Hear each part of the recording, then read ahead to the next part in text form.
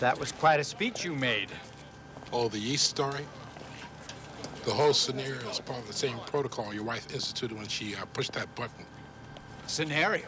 We knew that we were making a B picture, but we wanted to have some seriousness involved because the issues underlying it all were real. And Sam is not a tough guy by nature, but he has a strong will. And, uh, you know, he used his intelligence and his charm to uh, fill that role. And he was really meant for other things, and which is part of the reason why we had him studying for the law at the beginning of the film. Say, did you know that Mexican divorces are illegal in Utah? They don't even have quasi in rem jurisdiction.